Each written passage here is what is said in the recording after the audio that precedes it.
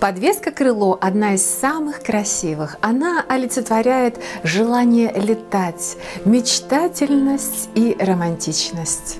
Такая подвеска может интерпретироваться как крыло ангела и будет символизировать душевную чистоту, непорочность, моральные качества.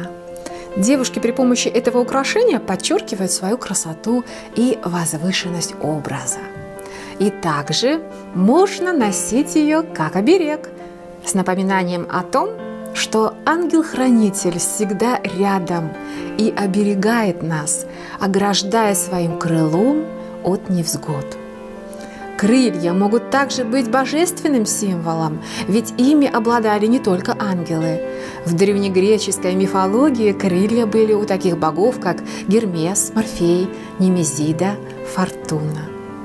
Предлагаю вам две ажурных подвески из русского золота с фианитами 22 мм и 27 мм длиной. Отличная идея для подарка.